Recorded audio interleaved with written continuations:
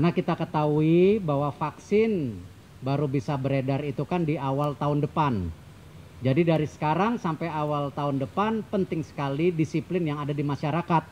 Yaitu yang selama ini sudah disampaikan Menteri Kesehatan sejak awal yaitu jaga jarak, cuci tangan, pakai masker.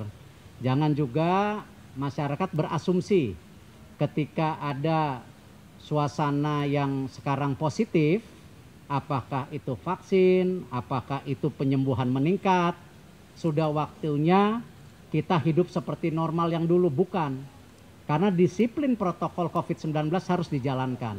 Dan bantu kami semua yang mengerjakan mati-matian demi masyarakat sesuai arahan dengan Bapak Presiden. Nah, vaksin ini kita pastikan akan ada, tapi saya mohon masyarakat juga berdisiplin supaya tadi kita bisa terus mengantisipasi. Bio Farma juga akan memastikan memproduksi obat ya untuk terapi kesembuhan karena ditanya obatnya apa pasti kan belum ada.